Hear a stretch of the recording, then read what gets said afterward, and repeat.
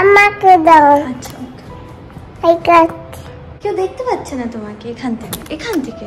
I cut welcome to তেনে welcome to তেনে channel আচ্ছা এবার মিমসি করো। Hi guys welcome to a fresh new blog of love life and more I hope তোমরা খুব ভালো আছো হ্যাপি আছো পজিটিভ আছো দিনগুলো খুবই ভালো কাটছে তোমাদের।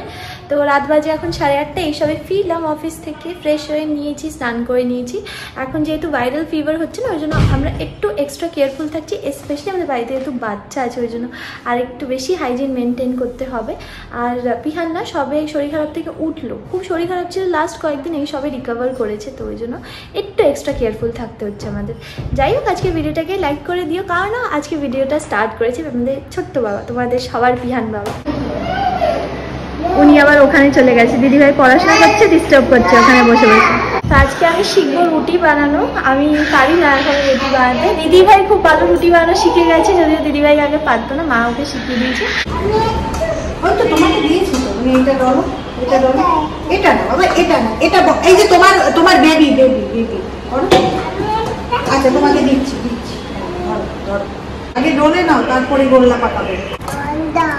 জল এটা লেতা লেতা হয়ে গেছে এই দেখো। বেশি জল দিলে একদম হাতে আটকে যাবে। ভালো করে ডলো। অনেক বড় দিয়েছি এবার ডলো। আমার করেছ? আমার মতন মাখো তেলটা দিয়ে? তুমি যেটা বানাচ্ছ সেটা কে করে? সবাই খাবে? ওই যে বাবালে দারুণ হচ্ছে তো দারুণ। দারুণ হয়েছে দারুণ। এই কুটি রুটিটা আমি খাব আমায় দেবে? আচ্ছা এটা তোমার? ওকে ওকে।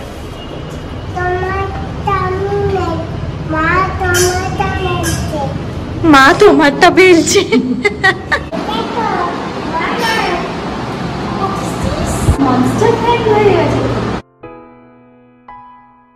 এরকম? আবার এই যে এই যে এই জিনিসটা এরম এরম করে যাতে রুটিটা ঘোরে। টাকা নিয়ে নেবে আর কি করছে না যে। সেটা তোমাকে কায়দা করে নিতে হবে। হ্যাঁ। করে করে কায়দা করে নিতে এইটা আমি বেলেছি ফার্স্ট টাইম বেলেছি। আমি জানি একা বেকা হয়েছে একদম পারফেক্ট হয়নি। এই এই জায়গাগুলো সবই বেঁকে গেছে ঠিক আছে? তো এবার এইরকম এই এইভাবে ঘোরার এইরকম এরম এরম করে হালকা করে ধরে ঘোরাবে দেখবে আপনি আপনি ঘুরবে। এই ঘোরাটাই আমার হচ্ছে না। মানে এই অটোমেটিক যে তোমার ঘুরছে সেইটা আর আমার হচ্ছে না। এই যে আমাদের ছোট্ট বাবা রুটি বানিয়েছে দেখো। আর তুমি করেছ। এইটা আমি বানিয়েছি আর এইটা পিহান বানিয়েছি। বিহান বানিয়ে আবার এটা বসিয়ে রেখে গেছে। এটার মধ্যে নাকি ও কি বানাবে? এটা রান্না হবে? হ্যাঁ, রান্না হবে।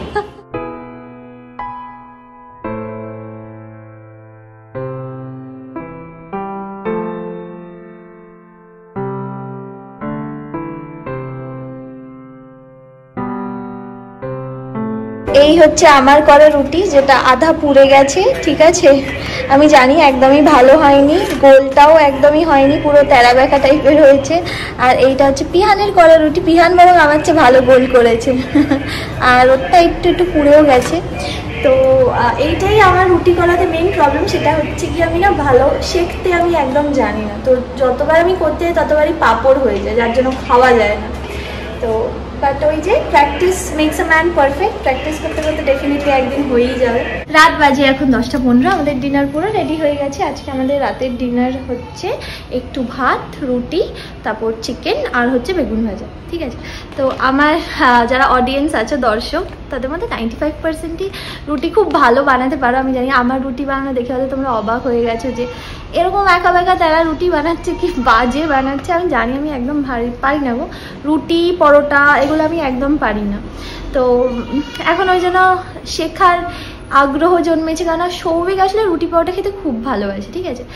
ইনিশিয়ালি আমার রান্না বান্নার প্রতি কোনো রকমের ইন্টারেস্ট ছিল না, তো আমি সৌভিককে বলেছিলাম যে, সৌভিক, এই একটা জিনিস যেটা আমি কিছুতেই ইন্টারেস্ট ইন্টারেস্ট আনতে পারছি না। তো আমাকে বলেছিল, ঠিক আছে, তোর যখন ইন্টারেস্ট নেই, তাহলে আমি শিখে নিচ্ছি, আমি রান্না করব, কোনো ব্যাপার না। তো আস্তে আস্তে রান্না করা শিখলো, আমাকে সুন্দর সুন্দর রান্না করে খাওয়াতো।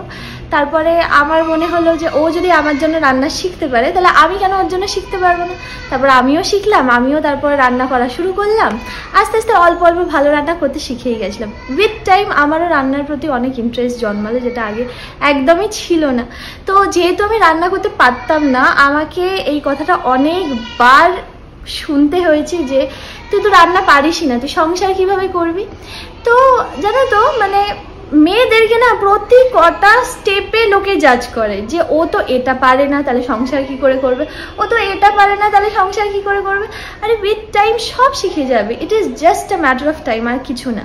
ছোটবেলায় পাপা একটা জিনিস খুব বলতো যে, দেখো, রান্না শেখার বয়স সারা জীবন থাকল বাট পড়াশোনার বয়স কিন্তু সারা জীবন থাকে না। তো যখন যেটা করার সময়, তখন সেটা করা উচিত তোমার রুটি, তোমার রুটি। আচ্ছা সবাইকে সবাইকে ভাগ করে দাও। কে বানিয়েছে? কে? আমি। হ্যাঁ? করে বানালে তো? এরকম করে বানিয়ে দিয়েছ? আমি শেয়ার করে দিচ্ছি হ্যাঁ? আমি শেয়ার তো করে দিচ্ছি। একটা গোটা খাক আমি আর মামার হাফ হাফ করে নিই হ্যাঁ তোমার একটু মা বানিয়ে একটু মিন্টু তুমি একটু খাবে আচ্ছা তোমার আছে আচ্ছা ঠিক হ্যাঁ আমি খাচ্ছি তো মা আর দিদি ভাই আমার রুটিটা টেস্ট করে বলবে যে কীরকম আদৌ হয়েছে আদৌ খাওয়া যাবে। রুটি আমার রুটির সঙ্গে টেস্টটা কি শুধু এটা তুমি বেকা বেড়েছিলে ওটাকে আমি আবার আটা দিয়ে সিধা করেছ? মানে গোল করলাম তো ওই জন্য শক্ত হয়ে গেছে। নাহলে একই খেতে। খেতে ভালো হয়েছে? সেটা ভালো হয়েছে? আমার তো রুটি তো হয়েছে ওর রুটি সবাইকে খাও। দাও খাও খাও।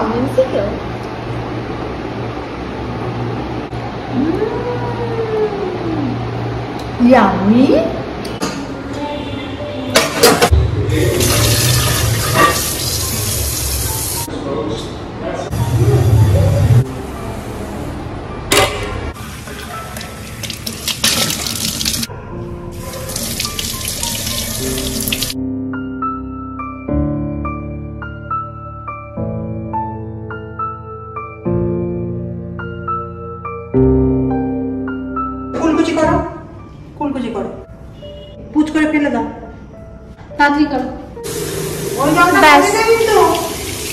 জল নষ্ট করতে নেই বাবা।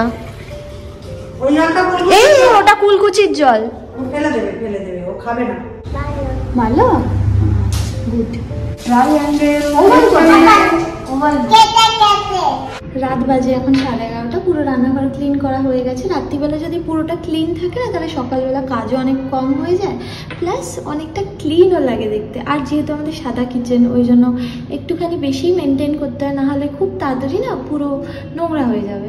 তো ওই জন্য যখন যেটা নোংরা হচ্ছে, তাড়াতাড়ি ক্লিন করে দিলে তো মেনটেন করা বেশি ইজিয়ার হয়।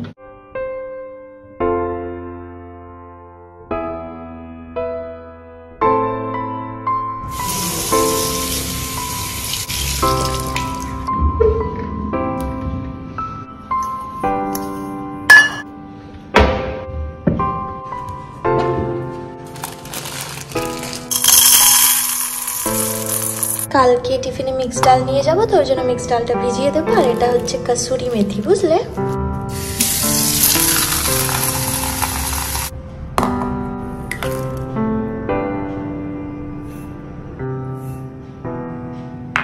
সমস্ত কাজ আমার কমপ্লিট হয়ে গেছে, অনেক রাতও হয়ে গেছে, এবার শুতে যাব, আমি চেঞ্জও করে নিয়েছি।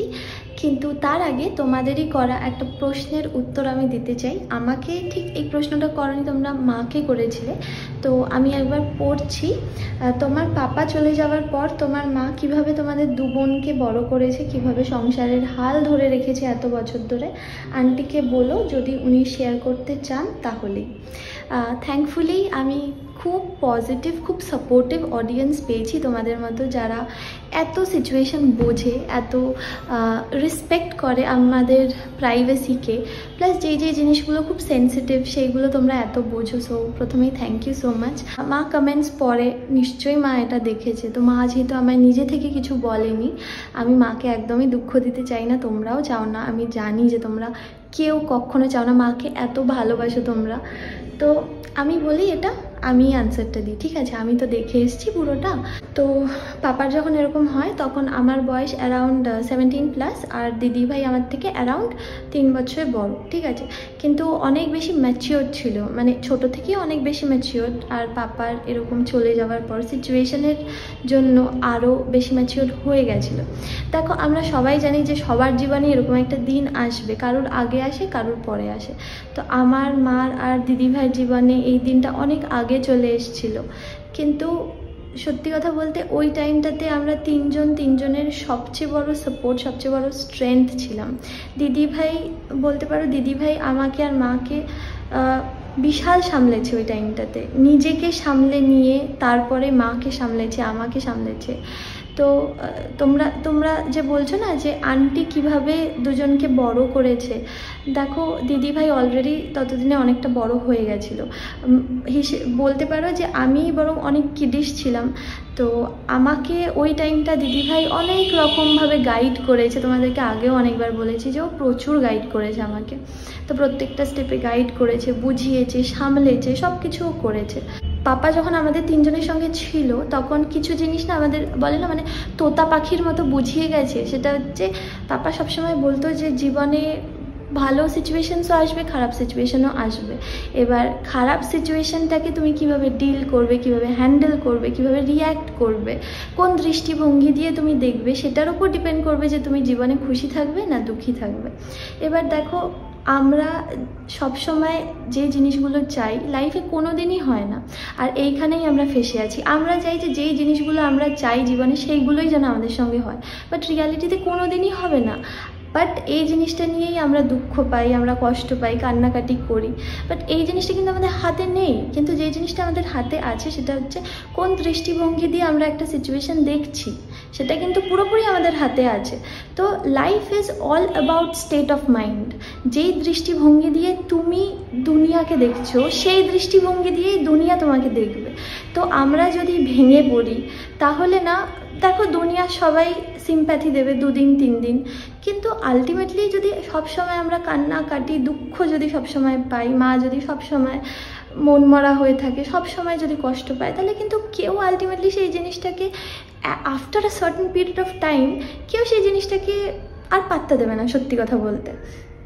তো উইথ টাইম সময়ের সাথে সাথে সবাই এই জিনিসটা শিখে যায়। এটা একটা হিউম্যান ইনস্টিংক্ট যে বলে না যে মানে জীবন কখনো কারোর জন্য থেমে থাকে না। দেখো, আজ পাপা নেই, আমাদের জীবনে সবই হচ্ছে এভরিথিং সব আমরা করেছি। সব।